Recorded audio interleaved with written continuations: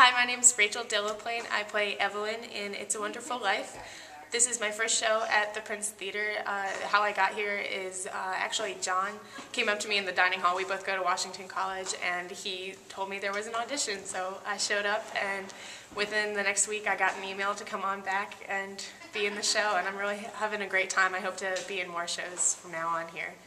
Okay, aside from Evelyn, what are other roles you have? Like that's your, your sub character. What's your characters in It's a Wonderful Life? All right, Evelyn is in charge of covering Mary, the hero, the heroine of It's a Wonderful Life. She also covers Zuzu's voice, the bank examiner, Mrs. Carter, uh, a cop somewhere in there, and random other bits. She mostly covers a lot of the random sound cues.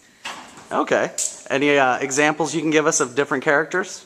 Uh, uh, well, Mary is close to my actual voice. No, that's not it. Just kidding. Uh, Zuzu's kind of here. Um, uh, let's see. Uh, Mrs. Carter is not very approving of Mr. Bailey, and um, the cop is uh, as masculine as I can be, and yeah. All right. So tell everybody why they should come out and see you guys at the Prince Theater.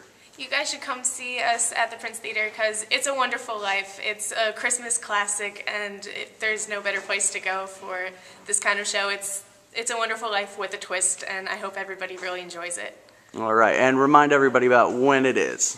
Uh, the first shows are this weekend, November 26th and 27th, and then the following weekend, December 2nd, 3rd, and 4th.